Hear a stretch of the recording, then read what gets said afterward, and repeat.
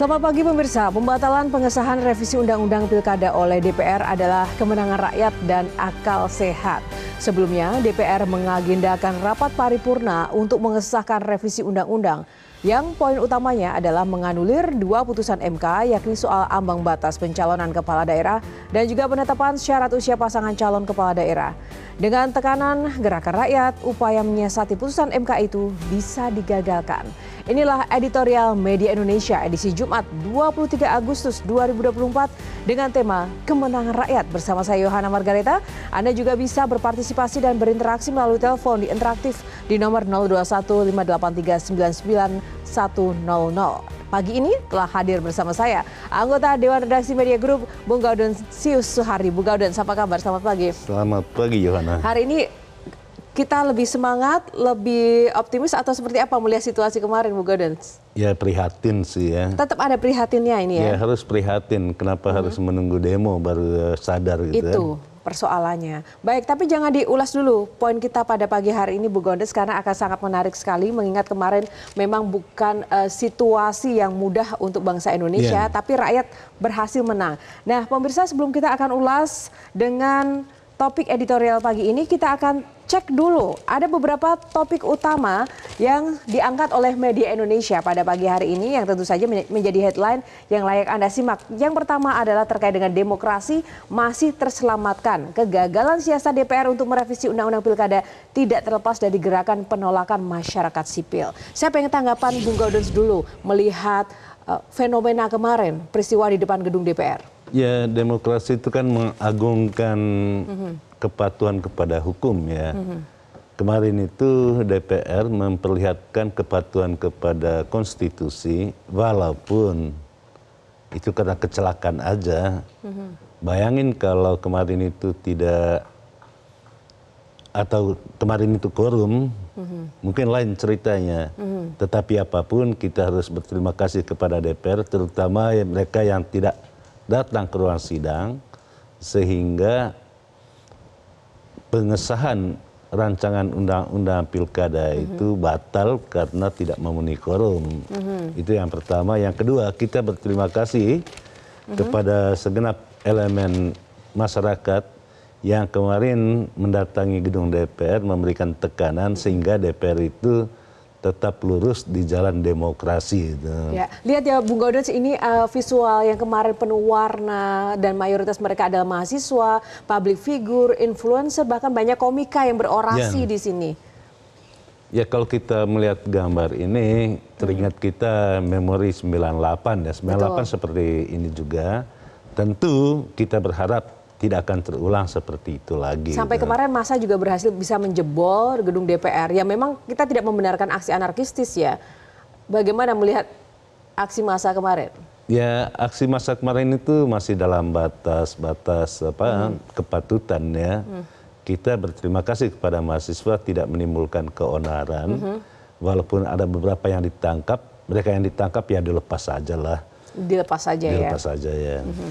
Baik, itu tadi terkait dengan uh, demokrasi kita yang ada unsur pembiaran kenapa baru di demo terus kemudian uh, baru tidak dilaksanakan. Kenapa sejak tidak awal saja langsung saja dilaksanakan putusan MK seperti pada Pilpres yang lalu. Nah, bicara soal pembiaran di sini juga ada di halaman dua pemirsa Media Indonesia mengangkat terkait dengan pembiaran suburkan perundungan. Maksudnya ini menyoroti apa ini?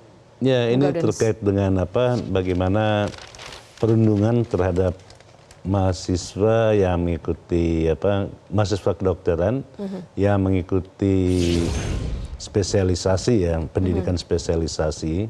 Dan ini kan baru apa ya? Yang terungkap sekarang ini -huh. adalah puncak dari gunung es. -huh. Itu terjadi karena dilakukan pembiaran di kampus-kampus ya. Dulu kita masih ingat ada sekolah yang dicap juga sebagai sekolah apa pembunuhan pembunuhan ya uh, kita ingat misalnya STPDN dulunya hmm. itu dikental sekali dengan kasus-kasus kekerasan hmm. tetapi sekolah itu mampu berbenah diri dan sekarang hmm. tidak terdengar lagi kasus kekerasan di STPDN sekarang namanya ya tetapi justru yang menarik kekerasan itu terjadi di kampus-kampus yang jurusannya itu atau lulusannya itu mestinya mematuhi kode etik kedokteran tetapi yang diperlihatkan itu brutalismenya. Oke, baik. Itu tadi yang diangkat dan disoroti tentang membiarkan suburkan perundungan. Yang ketiga topiknya adalah terka terkait dengan segera petakan potensi kerawanan Pilkada 2024. Ini ada 508 kabupaten kota yang nanti akan ikut. Apa saja uh, tingkat kerawanan yang harus diantisipasi, Bung Gaudens? Ya, kita harus katakan dengan apa ya, sejelas-jelasnya tingkat hmm. kerawanan pertama itu kalau DPR tidak mematuhi putusan Mahkamah Konstitusi. Mm-hmm. Tentu itu uh, apa menimbulkan kekeosan uh, terkait dengan hasil-hasil pilkada. Tetapi di dalam berita ini yang sudah memetakan peta ke, ke apa kerawanan itu Bawaslu sudah melakukannya di banyak daerah terutama di daerah apa Papua ya di daerah Papua di mana di sana itu masih kekerasan juga masih berlangsung mestinya sejak awal itu sudah di apa diantisipasi oleh aparat keamanan sehingga pilkada hmm. di pilkada serentak kali ini benar-benar berjalan dengan apa aman dan tentram dan rakyat diberi kesempatan untuk menggunakan hak pilihnya menentukan pemimpin siapa pemimpin yang memimpin mereka untuk me, apa, menghadirkan kesejahteraan itu sendiri. Betul sekali, apalagi jika calon-calon pemimpinnya ini banyak ya, ada pilihan-pilihan, tidak hanya satu satu pilihan dan kota kosong. Ya, jangan ya. sampai melawan kota kosong aja. Jangan sampai melawan kota kosong dan itu tentu saja juga menjadi bagian dari kemenangan rakyat yang memang disuarakan melalui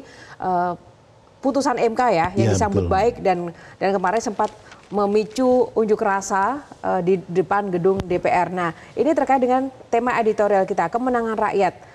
Bung Gaudens, sebenarnya ini sangat sangat dasar sekali. Kenapa sih kita ini masih ada budaya didesak dulu, kemudian ditekan dulu, baru kemudian benar dan lurus begitu? Ya apa pun yang terjadi kemarin itu, itu kita anggap sebagai dinamika. Tetapi kita mau katakan bahwa hmm. memberikan apresiasi kepada DPR yang secara sadar menghentikan pembahasan rancangan undang-undang pilkada yang apa dihasilkan dalam tempo sesingkat singkatnya.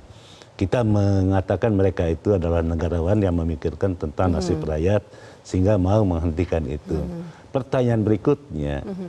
penghentian atau rencana menghentikan pembahasan rancangan undang-undang pilkada itu apakah diambil dalam keputusan resmi atau pendapat pribadi dari wakil ketua DPR yang memberikan apa konferensi pers yang sebelumnya itu hmm. disampaikan lewat media sosial pribadinya. X, yeah. Ya, ini kan pertanyaannya atas dasar apa atau dasar hukum apa uh, keputusan itu diambil. Kalau nah. tidak ada hmm. keputusan resminya itu apa justru pelecehan terhadap parlemen itu. Nah, Bu Gaudes kalau kita melihat ini kan kalau di media Indonesia kita bisa tampilkan foto ini kan uh, bahwa Sumi Daftko ya, ini kan uh, konferensi pers tapi tidak di gedung DPR ini ya? Ya, tapi pertanyaan paling penting. Apakah itu tidak sah?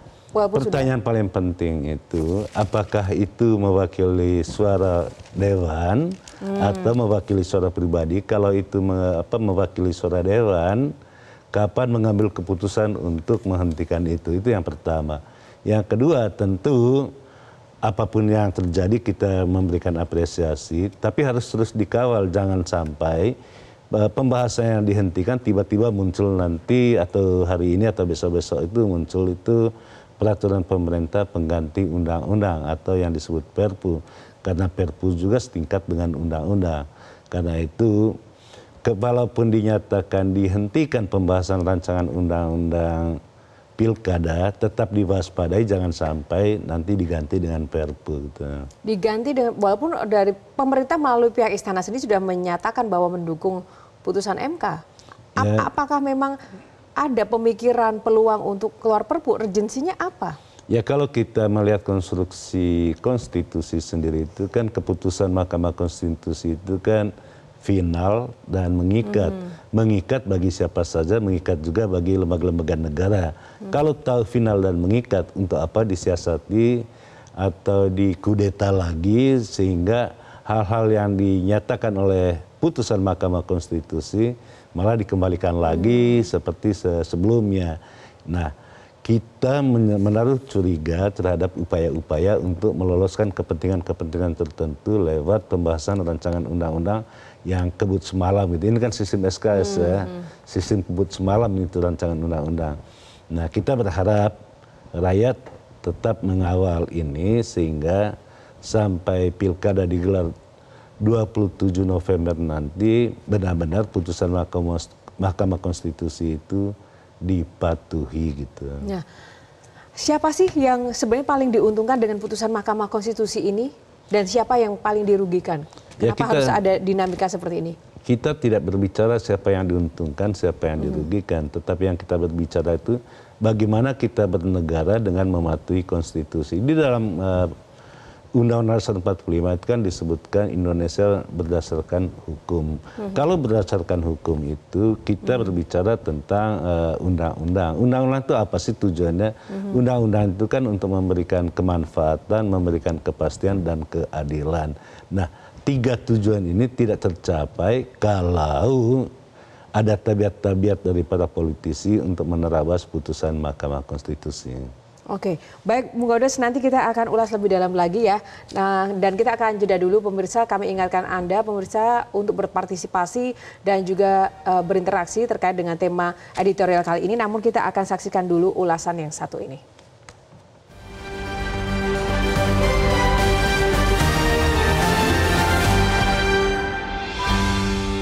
Kemenangan rakyat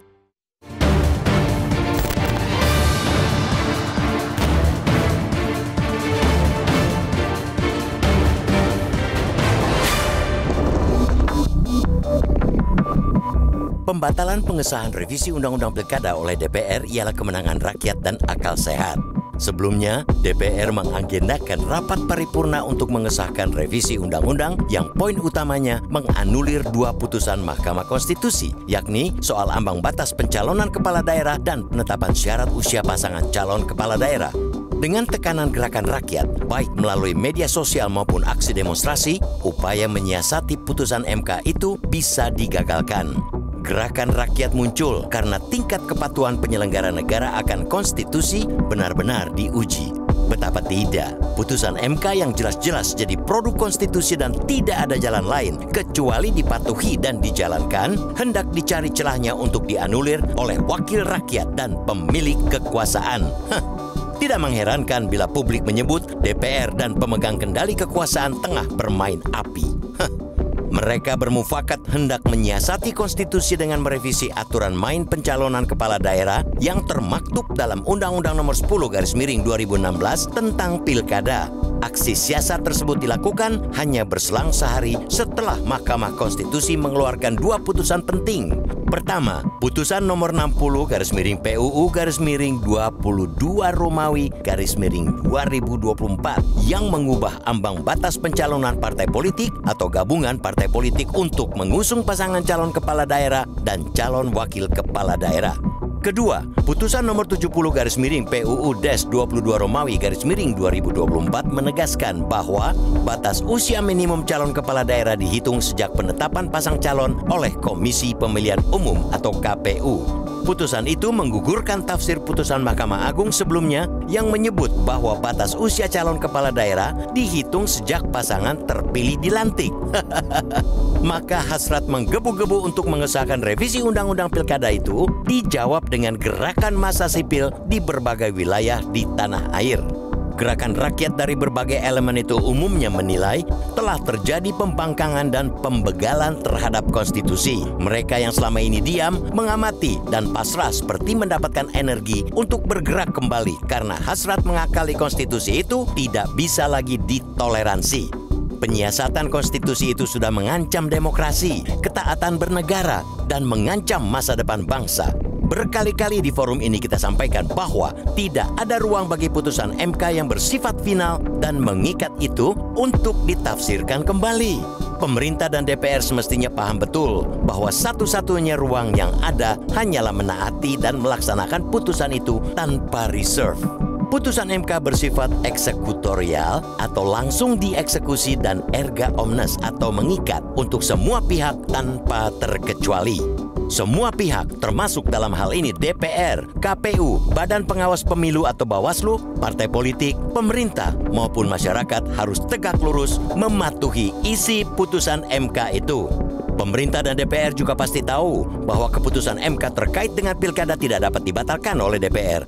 Mestinya juga tidak dibatalkan oleh peraturan pemerintah pengganti undang-undang atau perpu bila pemerintah dan DPR berkukuh memutar haluan putusan MK, maka akan muncul kekacauan aturan, ketidakpastian hukum, dan perlawanan tiada henti dari rakyat yang merasa hak mereka memperoleh calon pemimpin yang mereka kehendaki terus diamputasi.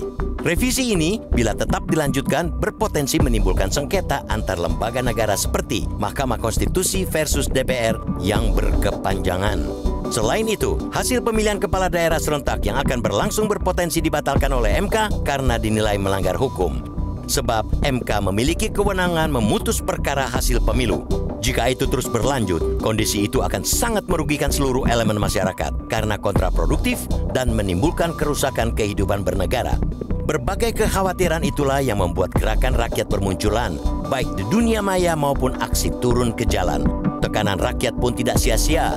DPR sebagaimana dinyatakan oleh Wakil Ketua Sufmi Dasko Ahmad akhirnya mengikuti putusan MK. Wakil rakyat yang terus ditekan oleh rakyat akhirnya mengikuti kehendak rakyat. Kini, publik menunggu agar pernyataan Sufmi Dasko itu benar-benar menjadi sikap resmi DPR. Publik berharap tidak ada dusta di antara wakil rakyat terhadap rakyat yang diwakili. Gerakan rakyat mengawal putusan MK ini mestinya memberi pelajaran penting bagi siapa pun yang sedang memegang dan mengendalikan kekuasaan untuk berhenti bersiasat terhadap kehendak rakyat. Rakyat yang selama ini diam bukan berarti tidak tahu, tapi sesungguhnya sedang menunggu sampai batas tertentu untuk bergerak serentak membela akal sehat dan kewarasan akan selalu punya ruang untuk menang.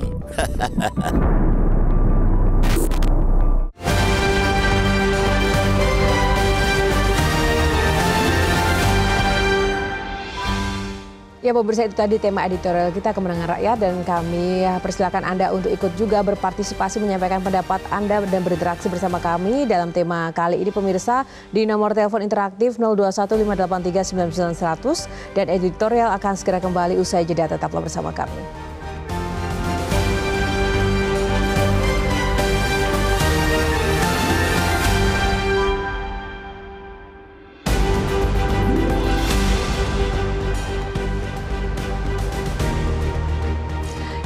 Dan pemirsa kembali di editorial dan kali ini eh, kita akan membahas lebih dalam lagi terkait dengan tema kita kemenangan rakyat. Kita langsung terhubung saja dengan Mbak Bivitri langsung via sambungan telepon pakar hukum tata negara Bivitri Susanti. Mbak Bivitri, selamat pagi Mbak Bivitri. Selamat pagi. Selamat pagi. Bagaimana situasi pagi ini Mbak Bivitri setelah kemarin uh, sibuk ya memantau uh, jalannya unjuk rasa di gedung DPR? Iya, hari ini jadi lebih tenang ya. Kemarin saya lebih ikut tenang. di DPR. Kenapa kenapa uh, Mbak Bivitri lebih tenang dan kenapa kemarin tidak tenang begitu? Iya, kemarin tidak tenangnya karena kan sampai pagi sekitar jam 10 itu kita belum tahu sebenarnya apakah hmm. ini akan diketok atau tidak. Waktu saya tiba di DPR um, sudah muncul kan katanya ditunda nih tidak quorum. Hmm. Jadi hmm uh, cukup senang begitu ya. Tapi nanti dulu nih ditunda itu bukan berarti uh, sudah dibatalkan betul kan. Mm-hmm. Nah ke- kemudian sore baru ya ada sedikit kepastian. Tapi saya percaya kita harus tetap waspada karena bisa mm-hmm. saja ada plot twist seperti biasanya dengan negara ini hari-hari ini. Uh, mm-hmm. Tapi paling tidak uh, kita sudah punya bayangan lah kira-kira ke depannya ini seperti apa. Karena kemarin terlalu cepat kan Mbak. Hanya dalam waktu 24 jam tuh turbulensi apa, apa politik kita luar biasa dua hari ya sebenarnya totalnya ya. Hmm. Jadi sekarang hmm. sudah agak tenang sedikit, refleksi dulu dan hmm. bisa memikirkan ke depannya bagaimana. Nah, dari perbincangan uh, saya dengan Bu Godons pada pagi hari ini tadi kita harus melihat apakah memang pernyataan konferensi pers dari Sufmi Dasko kemarin memang mewakili kepentingan pribadi ataukah memang sudah bagian dari suara uh, eh, DPR khususnya balik secara utuh. Menurut Anda apakah kita bisa menerima uh, apa yang disampaikan oleh Pak Sufmi Dasko kemarin terkait bahwa ini akan dibatalkan? Sudah dibatalkan maksud kami. Iya, um, memang nanti harus ada uh, formalnya ya sebagai sebagai uh, balek itu seperti apa dan sebagai DPR seperti apa. Tapi kita juga paham bahwa Pak Sufmi Dasko itu yang mengatur banyak hal cukup sangat dominan ya secara uh, sosok politiknya lah kita lihat sudah uh, sekitar 4 5 tahun belakangan ini memang sangat dominan dan bisa diduga itu adalah hasil negosiasi politik yang telah dicapai meskipun mungkin informal dalam arti kan kemarin ditunda karena tidak quorum. Saya duga setelah itu ada negosiasi politik. Nah cuma cuma yang harus ditunggu adalah apa makna dari diserahkan kepada KPU gitu ya. Karena tadi malam kita lihat sama-sama KPU sudah merespons dan mereka bilang oh akan melaksanakan putusan MK. Tapi jangan lupa putusan MK ini ada dua 60 dan 70 ambang batas dan uh, soal batas umur. Nah, kita harus harus lihat dulu konsistensi KPU seperti apa karena walaupun DPR menyerahkannya sudah kepada KPU sebagaimana seharusnya memang, tapi kan kita paham juga DPR itu pada praktiknya mengontrol KPU karena KPU harus konsultasi dengan DPR dan yang terjadi selama ini di periode KPU yang sekarang KPU memang sangat-sangat nurut pada DPR dan saya duga ini seperti memindahkan uh, fokus dan persoalan ke KPU. Jadi mungkin dalam bahasa sehari-hari ya udah kita demonya ke KPU bukan ke DPR lagi. Nah, jadi kita nah, harus KPU melihat dalam hal ini dalam hari ini. Ya, KPU dalam hmm. hal ini ya khusus untuk case ini Mbak Bivitri harusnya nurut ke siapa? Ke MK atau ke DPR sebenarnya sejak awal? Sejak awal ke MK karena MK yang Harusnya harus kita lihat ya? sebagai penjaga konstitusi. Jadi mereka yang bilang ini loh yang konstitusional, justru DPR harus ngikut MK. Tapi ketika DPR tidak ngikut MK, maka KPU harus ngikut tetap ke MK. Karena mereka sumpahnya kan sumpah anggota KPU itu menjaga setia pada konstitusi gitu. Nah, ketika memang saat ini sementara secara informal DPR sudah membatalkan untuk pembahasan RUU pilkada ini, tapi juga misalnya ada wacana kekhawatiran, wah jangan-jangan nanti kalau plot twistnya muncullah perpu seperti itu. Menurut Anda mungkinkah itu terjadi Mbak Bivitri? Perpu juga masih mungkin, makanya harus kita petakan ya skenario nya. Benar sekali Mbak, uh, Perpu juga masih mungkin uh, tak dan tetap dalam konteks hukum tata negara tetap tidak bisa karena Perpu itu setingkat dengan undang-undang jadi materi muatannya juga harusnya sama nggak boleh mengubah putusan MK begitu ya. Tapi itu skenario lain yang mungkin saja dilakukan ketika nanti di ujung-ujung DPR sudah reses. Karena kalau DPR sekarang masih bisa sidang juga tidak bisa dijustifikasi kan untuk mengeluarkan peraturan pemerintah pengganti undang-undang.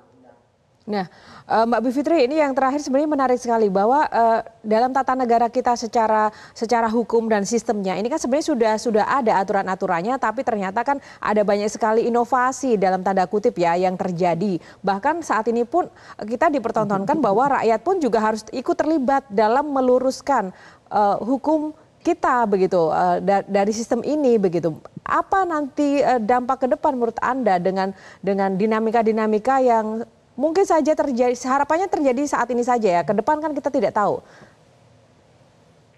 Iya, ini very good point Mbak. Saya uh, senang sekali membahas ini karena persis itulah yang tengah terjadi dan persis kenapa kemarin itu peringatan darurat begitu bunyi seruannya ya. Uh, karena kan kita diaturnya memang oleh konstitusi. Jadi ketika lembaga-lembaga negara yang seharusnya melaksanakan konstitusi uh, sebenarnya yang tengah terjadi itu sekarang ini adalah krisis konstitusi dan uh, pada akhirnya yang harus bergerak ya cuma warga karena mereka ternyata nggak setia pada konstitusi.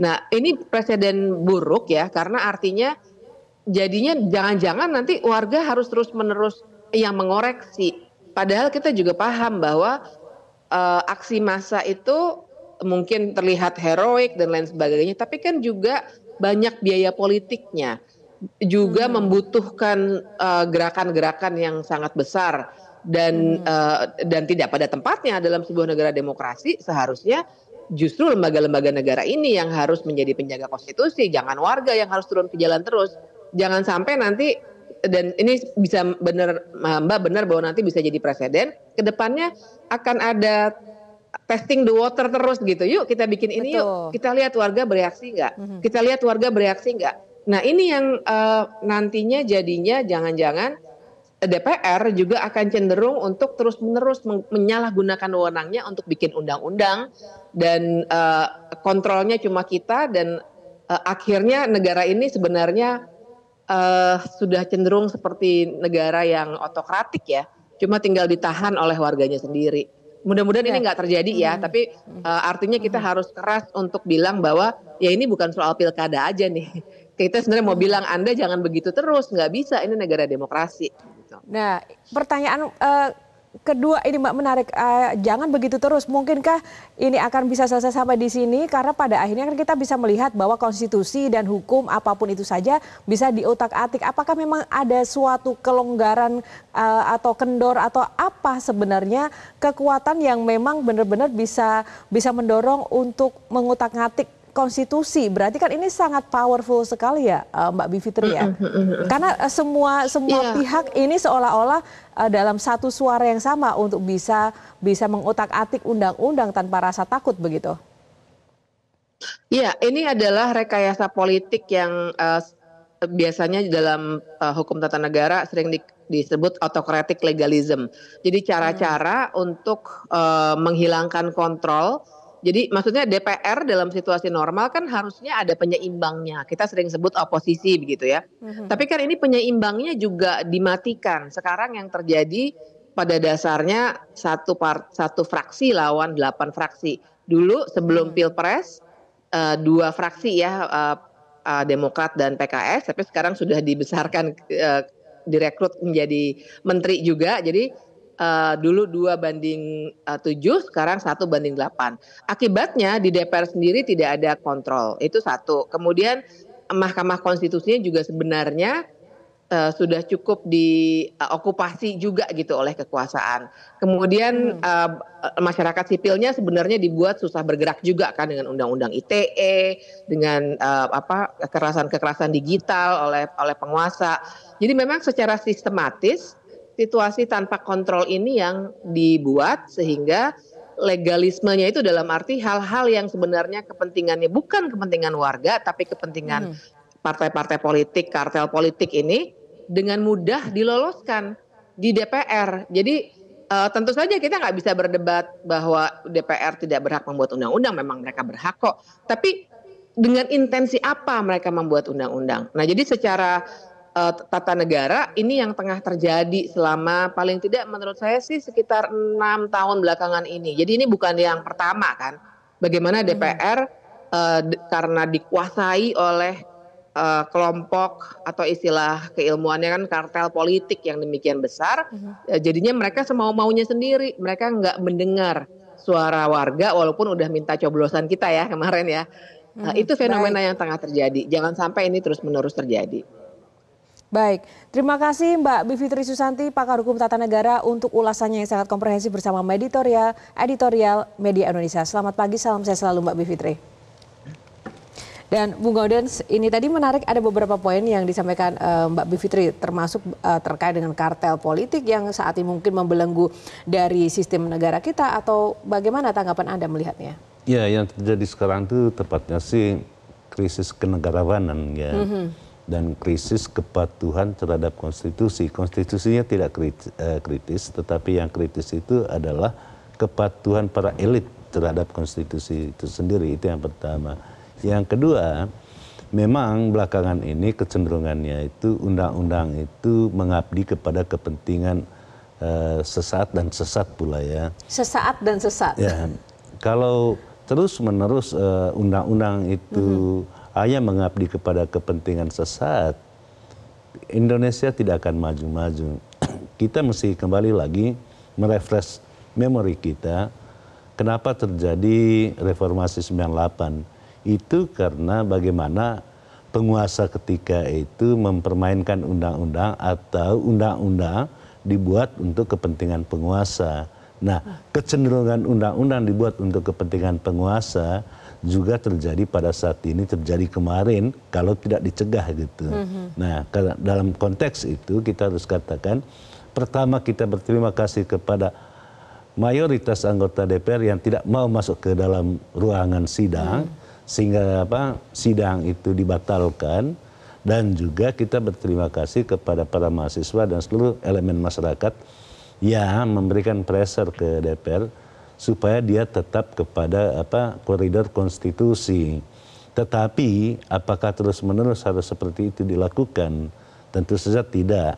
Karena itu yang dibutuhkan saat ini adalah bagaimana para politisi itu juga menjadi negarawan sehingga yang dipikirkan itu adalah bagaimana membangun, mendesain bangsa ini berdasarkan konstitusi bukan berdasarkan kepentingan itu. Baik, menarik sekali Bu Godes. Kita akan jeda dulu, kita akan ulas lebih dalam lagi seusai jeda tetaplah bersama kami pemirsa hanya di editorial Media Indonesia.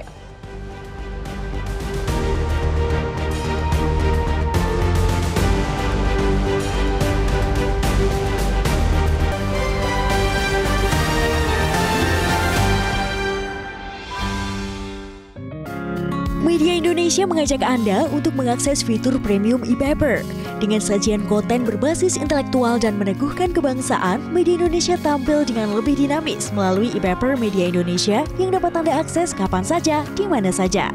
Caranya mudah, download aplikasi Media Indonesia di Android atau ketik link epaper.mediaindonesia.com atau bisa scan QR code pada layar kaca Anda. Klik tab e-paper di bagian samping layar tablet Anda daftarkan data diri, serta pilih paket perlangganan e-paper Media Indonesia sesuai dengan kebutuhan Anda. Nikmati juga bonus spesial tambahan 4 halaman rubrik fokus setiap hari. Semua bisa Anda dapatkan hanya di e-paper Media Indonesia. Untuk informasi lebih lanjut, hubungi customer service di nomor 0811 1201 2018 atau kunjungi media sosial at Media Indonesia. Media Indonesia, referensi bangsa.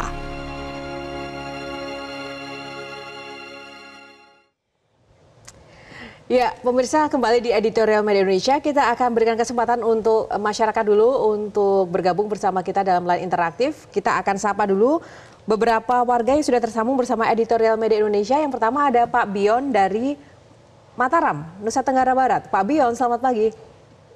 Ya, selamat pagi, Mbak ya. Bung Selamat pagi. Ya, Pak Bion, silakan uh, uh, tanggapan atau harapan Anda singkat saja, Pak Bion. Baik, terima kasih Mbak Margareta. Jadi, baik, terima kasih Mbak Margareta. Pembusukan demokrasi di Republik ini menjadi sebuah mortgage kapitalis yang dibangun oleh kelompok-kelompok otokritik yang notabene berdalih dalam kewenangan mereka membuat undang-undang. Dalam konteks penegakan law enforcement ketika kita bicara tentang putusan Mahkamah Konstitusi, maka itu bersifat omnes, bersifat mengikat untuk semua orang dan final and binding. Nah, ini rekayasa politik yang dibangun oleh kelompok-kelompok berjuis DPR ini memberikan pembelajaran tidak baik buat rakyat. Inilah yang dimaksud dengan kekuasaan yang ingin merusak konstitusi kita di negara Republik tercinta ini. Ini pertama Mbak Margareta. Lalu yang kedua, ketika kita bicara MK, kita bicara hukum ini, kebetulan saya praktis hukum, jadi ketika kita bicara hukum, jangan DPR berdalih bahwa dengan kewenangannya ya dia akan melakukan perubahan terhadap putusan MK. Itu keliru besar. Dan mereka tidak paham hukum Mbak Margareta. Ini kan anggota Dewan ini lahir dari keputusan politik, bukan keputusan hukum. Jadi mereka perlu pembelajaran hukum terhadap anggota Dewan ini. Dia tidak paham soal apa itu putusan MK dengan kewenangannya dia berdalih ingin merubah putusan itu dengan kepentingan kepentingan berjuis kapitalis yang ingin dibangun dalam kelompok politik itu. Itu yang kedua. Lalu yang ketiga, ini kan baru baru perhelatan awal rakyat digugat. Tapi ada hal besar di belakang kita ini, termasuk bagaimana perampasan aset dan lainnya, undang-undang ini kan mereka cukup maksa Kenapa ketika kepentingan politik mereka hanya satu hari mereka bisa loloskan untuk menjadi undang-undang? Ini kan konyol DPR ini. Makanya mari kita evaluasi reformasi 948 menjadi menarik untuk sebuah bangsa, generasi penerus ini untuk membangun sebuah sistem bangsa yang baik dalam, dalam rangka demokrasi. Mungkin itu Mbak Margareta, Bang Goldan, kasih.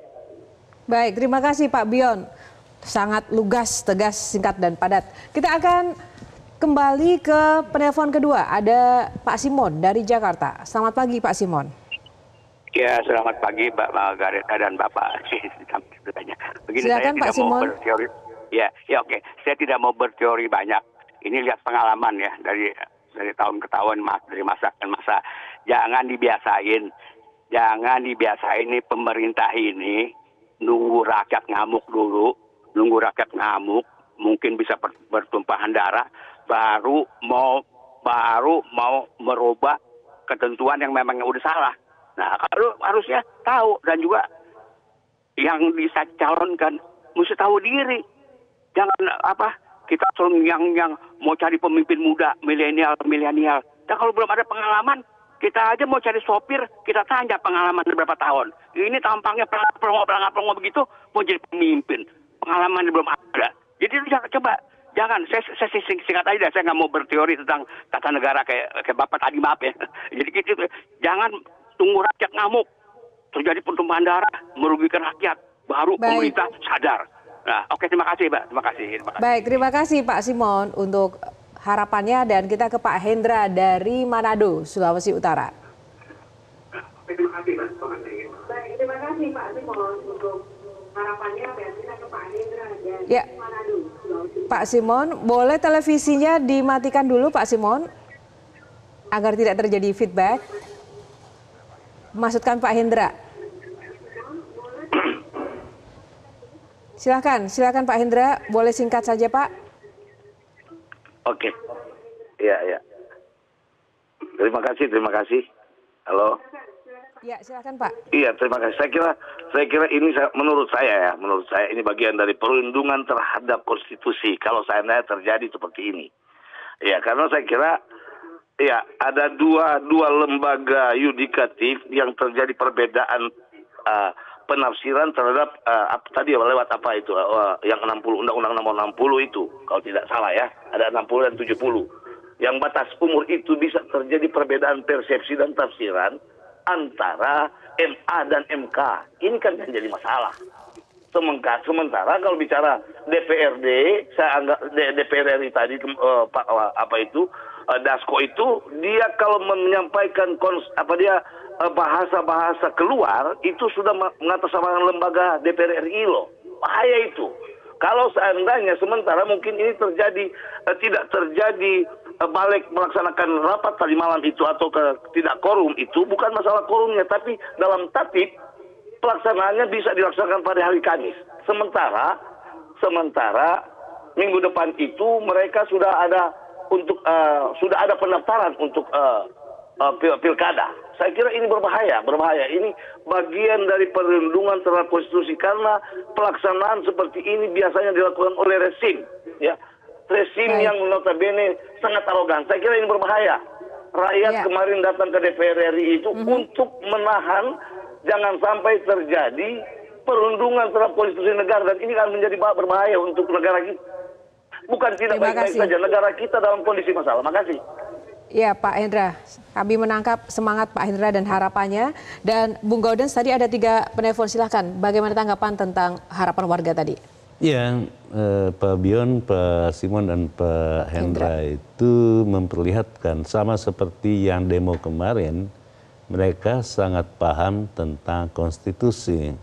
Pertanyaannya yang juga ditanyakan oleh Pak Bion tadi itu, uh, apakah DPR, anggota DPR tidak paham tentang hukum? Menurut saya pasti anggota DPR itu paham tentang hukum. Hanya saja yang mereka paham itu adalah hukum yang fungsinya kemanfaatannya untuk kepentingan uh, politik uh, masing-masing. Gitu. Paham ketika memang mewakili kepentingan mereka, kepentingan tidak paham ya. atau pura-pura tidak paham ketika berseberangan begitu ya. ya? Gitu. Karena itu kita harus apa mengatakan secara terus terang dan tegas, sudahlah jangan mempermainkan konstitusi. Indonesia itu negara hukum. Wujud dari negara hukum itu adalah kepatuhan kepada konstitusi. Ketika kita berbicara kepada de tentang demokrasi sekalipun, itu berarti kita berbicara tentang kepatuhan terhadap hukum itu sendiri. Baik, menarik sekali uh, Bung Godes. Kita juga nanti akan membahas ya bahwa pada akhirnya kan kita ingin taat undang-undang, taat hukum begitu. Dan pembuat undang-undangnya sendiri kan juga DPR di situ, ada di situ. Nah, bagaimana kita bisa trust atau percaya bahwa undang-undang yang nanti akan digelontorkan untuk kepentingan rakyat ini benar-benar mewakili kepentingan rakyat jika selalu terjadi seperti ini. Kita akan jeda dulu pemirsa, tetaplah bersama kami hanya di editorial Media Indonesia.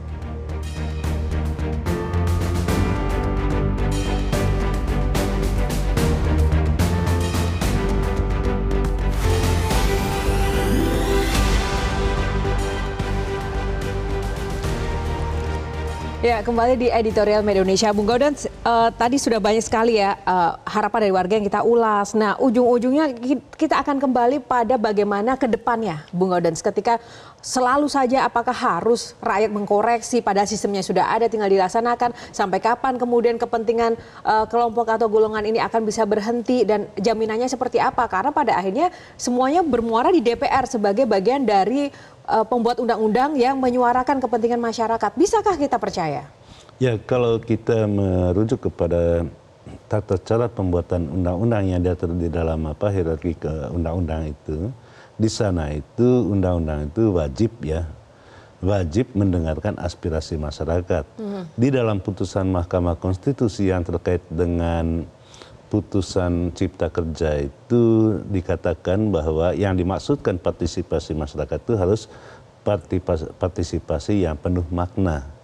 Nah, pembahasan rancangan undang-undang pilkada yang di apa dibahas selama tujuh jam dalam satu malam itu sama sekali tidak mengikuti putusan Mahkamah Konstitusi. Nah, kita harus katakan dengan tegas janganlah keluar dari putusan Mahkamah Konstitusi yang terkait dengan pilkada yaitu putusan 60 dan 70. Kenapa jangan keluar?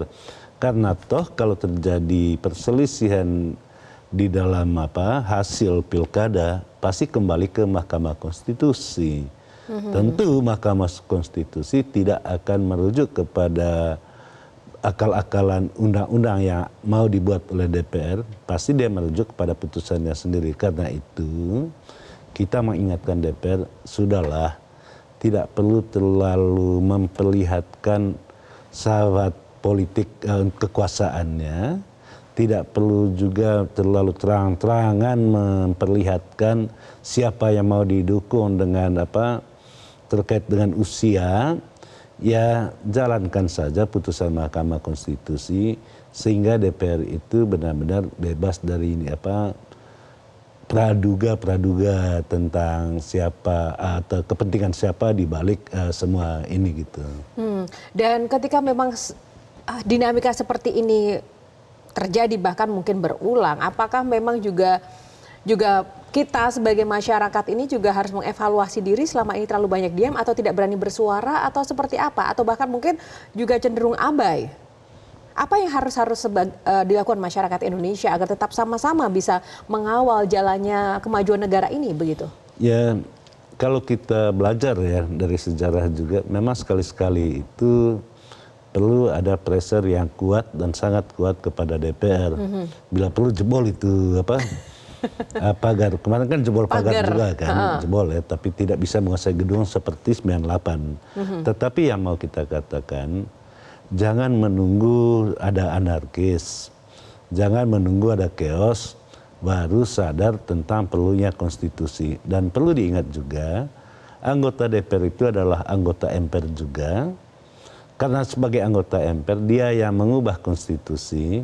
Kalau kita lihat uh, amandemen tentang adanya Mahkamah Konstitusi adalah hasil dari anggota MPR mm -hmm. yang juga adalah anggota DPR sebagiannya. Mm -hmm. Nah, mestinya DPR itu berkewajiban sebagai apa bagian dari MPR berkewajiban mengaman, mengamankan, memastikan pelaksanaan dari konst, apa perubahan atau amandemen konstitusi di mana di sana dikatakan terkait dengan Mahkamah Konstitusi putusannya itu final dan mengikat. Final dan mengikat ya mengikat juga anggota DPR itu. Ya, dan Bu Godes dari catatan media Indonesia di editorialnya kali ini kan menarik juga ya. Rakyat yang selama ini diam bukan berarti ia tidak tahu, tapi tidak tidak mau saja bertindak seperti itu.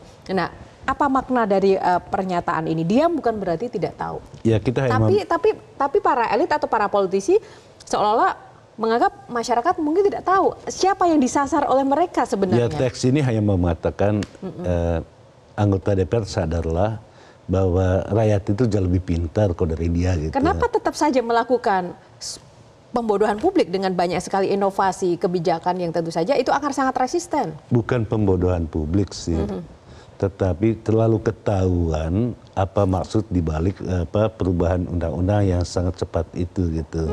Ada maksud di sana, maksud itu dibungkus di dalam eh, apa eh, formal pembuatan undang-undang.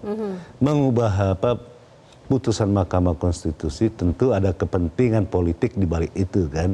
Kepentingan itulah dibungkus seakan-akan ini konstitusional gitu, padahal tidak gitu. Bisakah kita juga masih berpegang pada partai politik dan kepentingan politik yang tentu saja kembali lagi ya, apakah iya itu akan mewakili kepentingan rakyat yang sesungguhnya atau hanya segelintir elit? Eh, Yohana, tidak ada demokrasi kalau tidak ada partai politik. Tidak ada demokrasi kalau tidak ada DPR. Karena itu kewajiban publik juga, kewajiban kita juga untuk mengingatkan tentang partai politik akan fungsi-fungsinya, untuk mengingatkan DPR akan fungsi-fungsinya. Menegasikan peran partai politik dan peran DPR sama saja kita menegasikan tentang demokrasi. Karena inti dari demokrasi itu adanya partai politik, adanya DPR. Nah, dua lembaga ini, eh, partai politik dan DPR, mestinya paling di depan mempromosikan demokrasi. Gitu. Demokrasi yang sesaat lagi kita juga akan menjelang momen pilkada ya, Bung Gaudens. Kenapa momen pil- pilkada ini bahkan cenderung mungkin lebih panas dibandingkan pilpres kemarin? Apa makna makna dari momen pilkada ini untuk demokrasi kita? Ya ada kecenderungan atau keinginan yang sangat kuat ya eh, diakui atau tidak ada keinginan agar penguasaan di pusat itu inline dengan penguasaan di daerah sehingga kebijakan apa presiden terpilih nanti itu bisa dipastikan dijalankan di daerah karena selama ini kan persoalan itu antara pusat dan daerah itu kepatuhan daerah terhadap pusat itu sangat eh, rendah ya. Kalau dia masih dalam satu kendali, mungkin pembangunan Indonesia akan lebih cepat. Akan tetapi kalau apa desainnya seperti itu sama saja kita memanipulasi tentang demokrasi karena pada akhirnya rakyat sendiri yang harus memilih gitu. Nah, eh, pilkada itu kan mengandaikan adanya kontestasi. Kontestasi itu harus lebih dari satu lah apa calonnya. Jangan dipaksakan juga kotak kosong. Nanti yang jadi itu otak kosong gitu. Baik, jangan dipaksakan kota kosong karena nanti yang akan jadi otak, otak kosong. kosong, ya. Baik, terima kasih Bung Gaudens untuk ulasannya yang sangat komprehensif. Semoga uh, bermanfaat bagi masyarakat yang menyaksikan editorial kali ini. Dan tentu saja pemirsa, rakyat yang selama ini diam bukan berarti tidak tahu. Sekali lagi, rakyat yang selama ini diam bukan berarti tidak tahu. Tapi sesungguhnya sedang menunggu sampai batas tertentu untuk bergerak serentak membela akal sehat. Percayalah, kewarasan akan selalu punya ruang untuk menang. Demikian editorial Media Indonesia kali ini mewakili tim yang bertugas saya Yohana Margareta undur diri. Terima kasih atas kebersamaan Anda. Selamat pagi, sampai jumpa.